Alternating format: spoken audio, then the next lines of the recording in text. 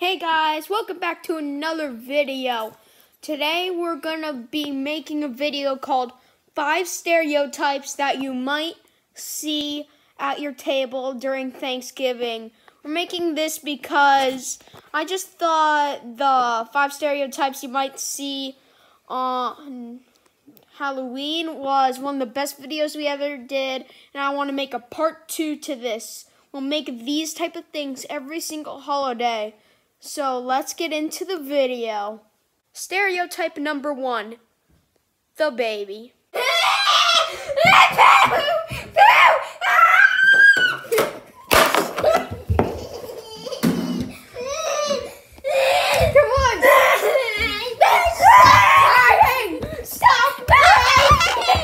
Stereotype number two, the person who actually made the food in the first place.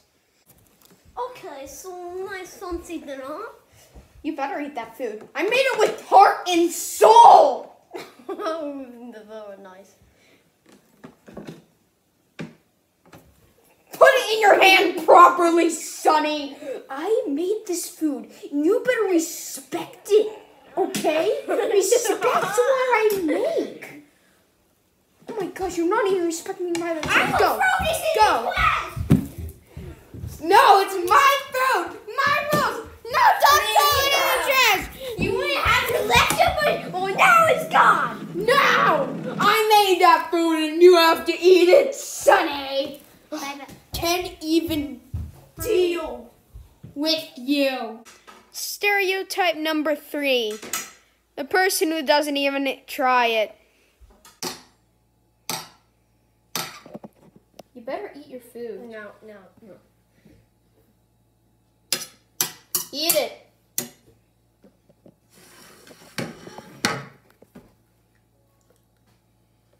Eat it. I'm going to the bathroom. Oh, okay. Okay.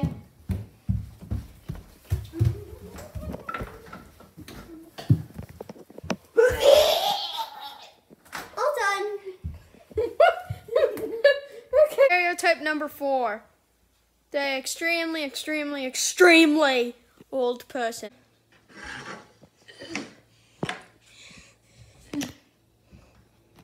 Oh, eating crap. Eating crap. Oh, Sonny. Oh, fuck. Oh, my- oh. Wait, what?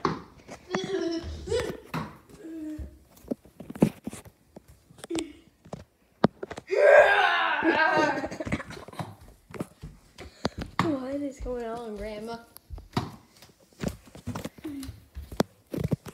You can't even get up the Stereotype number five the troublemaker. Do